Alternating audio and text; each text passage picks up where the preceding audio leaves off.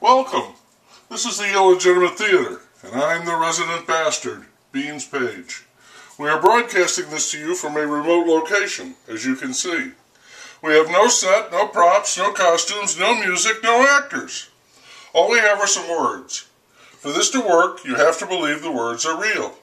You have to play along. So you're a partner. This is theater of the mind, mine as well as yours. I'm going to read you from something called The Elegy. When I'm done, I'll remove my hat. Till then, this will be The Elegy.